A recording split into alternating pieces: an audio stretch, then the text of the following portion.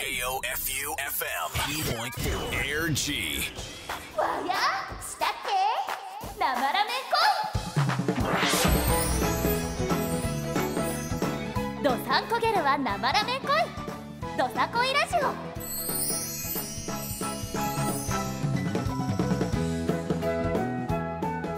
エアシー FM 北海道をお聞きの皆さんこんばんは毎週木曜日ここからのお時間はどさんこギャルは生ラメン恋どさこいラジオ。テレビアニメ「ドサンコギャルは生ラメン恋」の作品の舞台である。ここ北海道にある FM ラジオ局エアジーから道民あるあるや小ネタが散りばめられた本作の魅力を出演キャストや関係スタッフの裏話などを交え作品の魅力そして北海道の魅力とともに番組から発信していきます。えー、ちなみに「どさこいラジオ」のパーソナリティは毎週出演キャストが週替わりで担当していきます。先週の飛鳥役永井真理子さんからバトンを受け取り今週担当させていただくのはどさこいでは冬木南役を務めさせていただいております。桜彩音が担当していきます。よろしくお願いします。えー、個人的になんですけどあのー、水曜どうでしょうが好きなのでエアジーの収録現場をよく「水曜どうでしょう」内で見てましたね。あのミスターがこうあのやってたじゃんゴイスですゴイススタッフさんがなんで打ち合わせで言ってくれなかったんですかそうなんですよ。あの実際に FM 北海道エアジーのスタッフさんが東京に来てくださって今これを収録してるんですけどなので初めましてなわけですよ。だからちょっと人見知りしてしまってあのそういった小話を挟む間もなく収録に今入っておりましてね。あれですよそれこそこうボイスの現場から連れ去られる大泉さんの映像とかをあのよく見ていたわけなのであ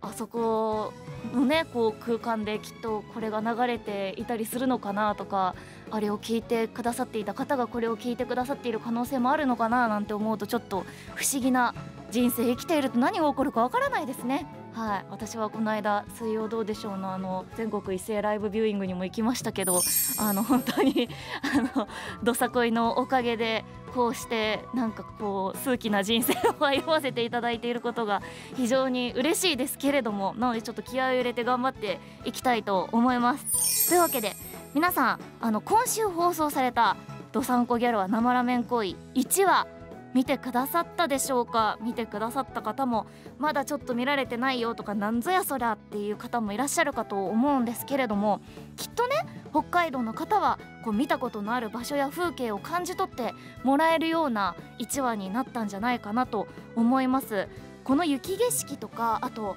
こう雪の白さに反射した女の子の可愛らしさとかそういうのってきっとこう生ではなかなか北海道の方ぐらいしか日本では見ることのないものだと思うんですけど私にとっても実はすごく新鮮に映っていて北海道に行ったらこのアニメの女の子たちみたいに漏れるのかなって思いながら私も1話を見ておりました。ぜひそんなね今週のテレビアニメの感想なんかもこのどさこいラジオへ送ってきていただけたら嬉しいなと思います、えー、ちなみにこの番組ではハッシュタグ私のどさこいと題して番組共通のメッセージテーマを募集中です。あなたが北海道で好きな人場所物など北海道に恋していることを番組パーソナリティに教えてください。もちろんあなたがどさこい本編で好きな場面や推しキャラでも OK でございます。ハッシュタグどさこいラジオにてどんどん参加してきてください。ひらがなでどさこいカタカナでラジオシャープどさこいラジオで X からもこうハッシュタグ。が拾えますぜひよろしくお願いしますそれでは今日も最後まで生ら楽しんでいってくださいね。君の笑顔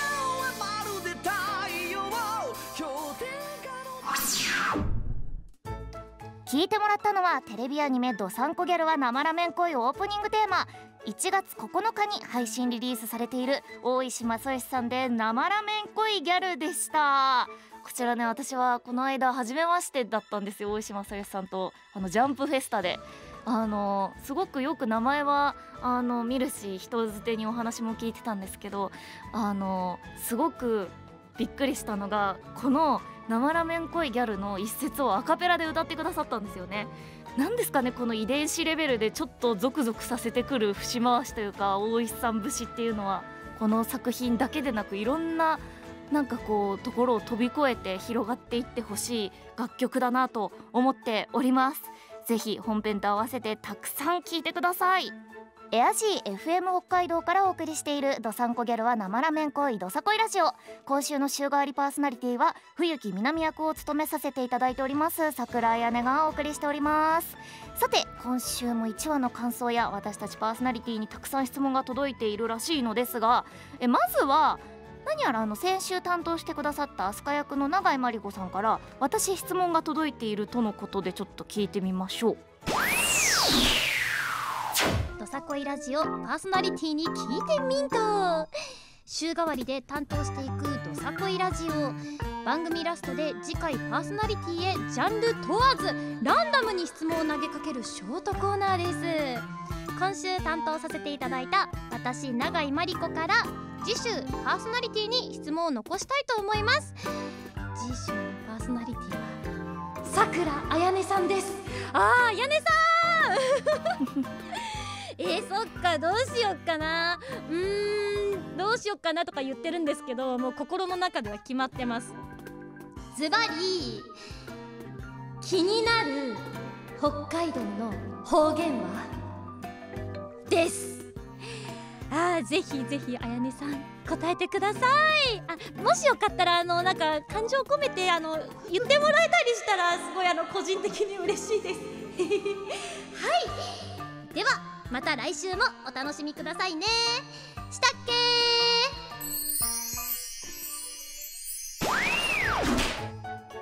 永井さん。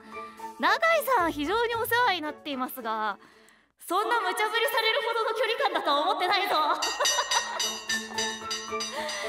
あー方言ですね。これ私たちも実際にアフレコで結構みんなで会議をしながらやりましたね。このどさんこギャルのアフレコでみんなが一番気を使った場所っていうのが北海道の方言とギャル語のイントネーションアクセントだったんですよ。でもこれはね私1個決まってますね。気になる北海道の方言。じゃあちょっと行ってみたいと思います。ズバリ。わやですこれね結構出てくるんですよ。あの言うんですよ冬木さんは「わや」って。毎週毎週イントネーションが分かんなくなるんです。2文字しかないから上がるか下がるかしかないくせになぜか覚えらんなくってなんか「わや」「わや」とも言いたくなるしどっちだっけ？って毎週なんかずっと引っかかり続けてた私の天敵です。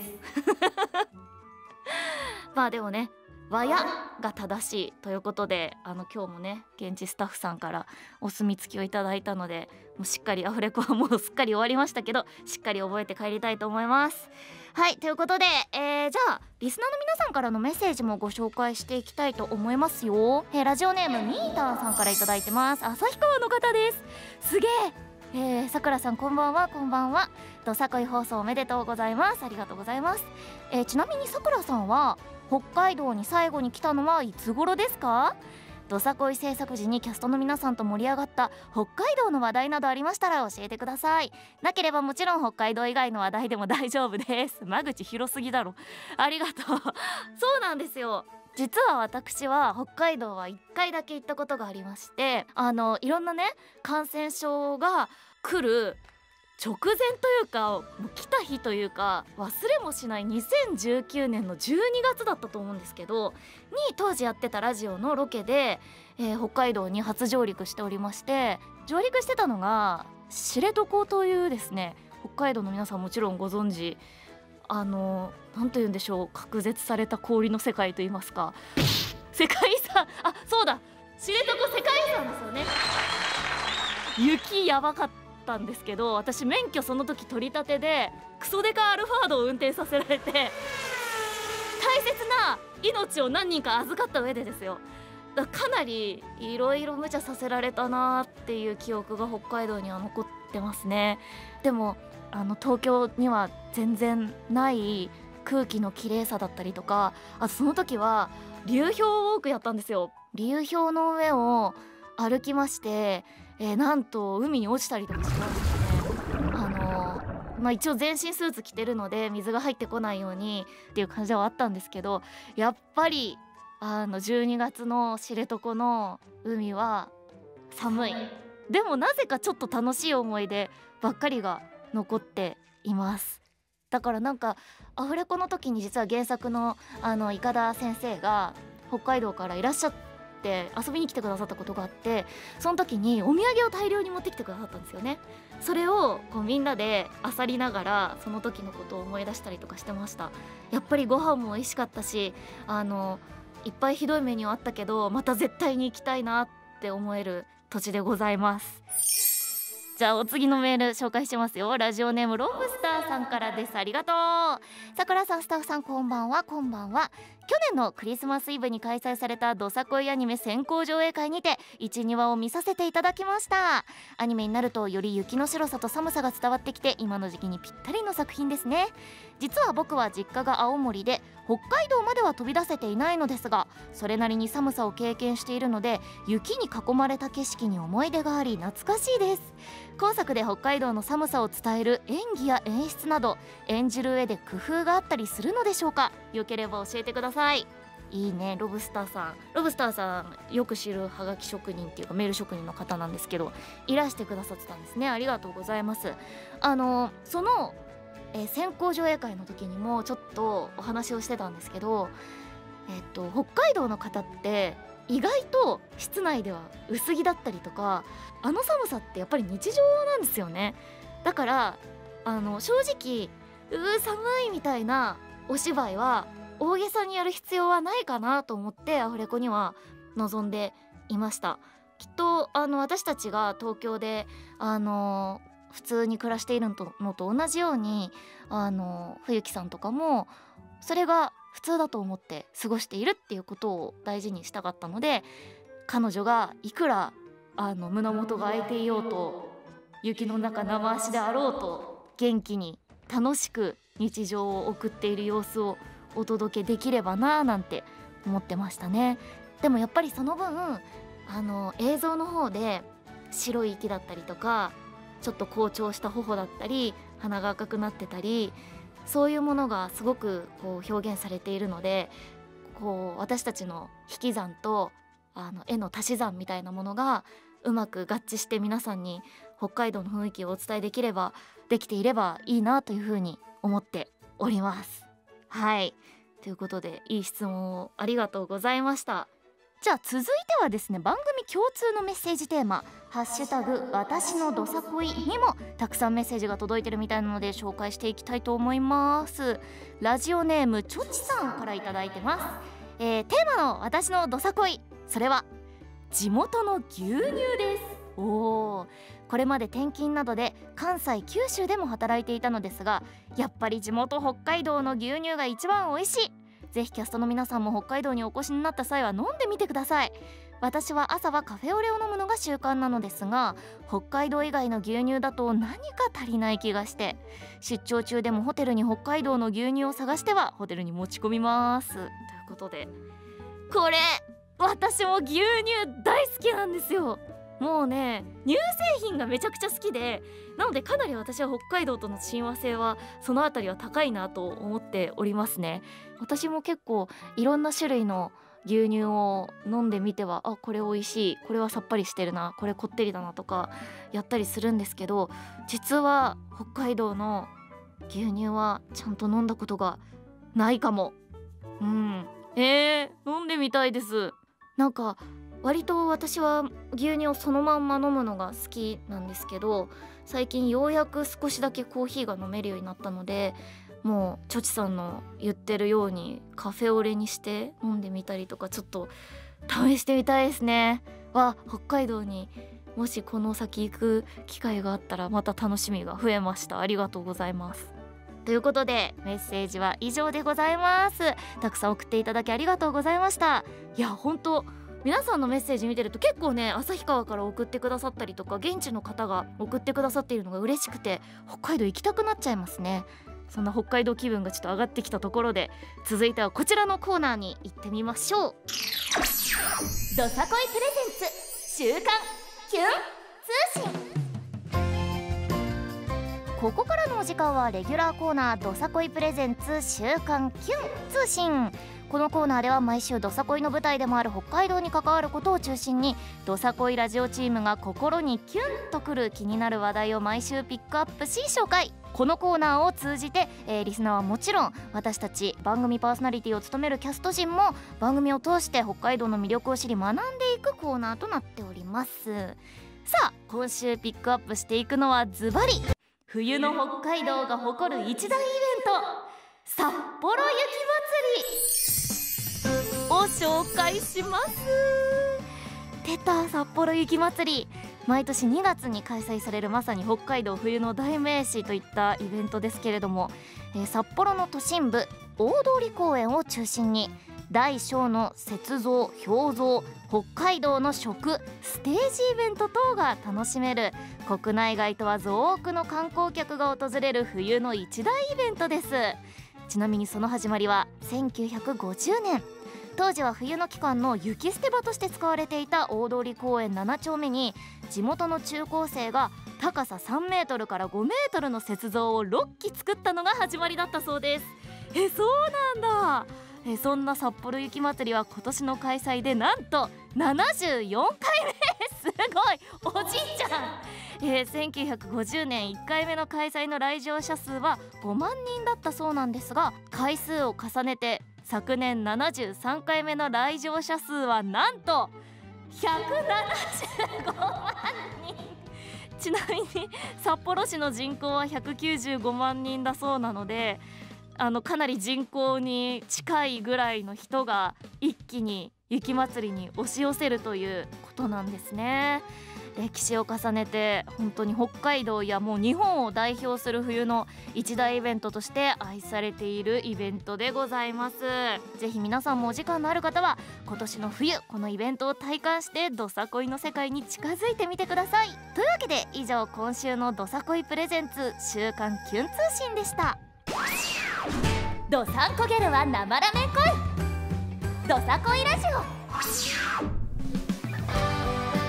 エアジー FM 北海道からお届けしているどさんこギャルは生ラメン恋どさこいラジオ。今週の週替わりパーソナリティは、えー、冬木みなみ役を務めさせていただいている桜屋根がお送りしてまいりました。早いものでなんとエンディングの時間ということでございます。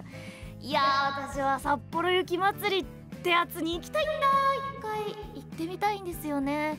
なんかこうもちろんニュースとかで毎年特集されていたりするのをこう見てああいいなってこんな雰囲気なんだっていう風にあに感じたことはあるもののきっとあのツンとした寒さとかその表像とか雪像の生の迫力とかを見られるのはやっぱりやっぱり生ならではなんじゃないかなと思うのでもうこの作品に参加したからにはぜひぜひ行きたい気持ちでいっぱいです。その時は生足では行きません。あの絶望的な寒さだと思うのであの今流行っている生足に見える肌色の極厚タイツを履いていきたいと思います。文明の利器ってすごいですよね本当に。今年はあの東京非常に暖かかったのであのちょっとそろそろね本物の寒さをね体感したい気持ちもありますよ。はい。というわけで「えー、どさんこギャルは生ラメン恋」はテレ東テレビ北海道 BS テレ東にて毎週月曜深夜24時30分から放送中です。さらにオンエア後の毎週月曜深夜25時からは DMMTV&D アニメストアにて先行配信をしております。ぜひ一度と言わず二度三度どさこいの世界を楽しんでください。そしてどさこいラジオはラジオオンエア終了後ラジコタイムフリーで1週間毎週日曜21時に DMM ピクチャーズ公式 YouTube チャンネルにて再編集版をアーカイブ配信予定です。聞き逃してしまった方はぜひラジコまたは YouTube からお聞きください。さて来週はどのキャストが登場するのか。また来週もこの時間にてお会いしましょう。どさんこギャルは生ラメン恋どさこいラジオ。今週の週替わりパーソナリティは冬木南役さくらあやねが担当させていただきました。したっけね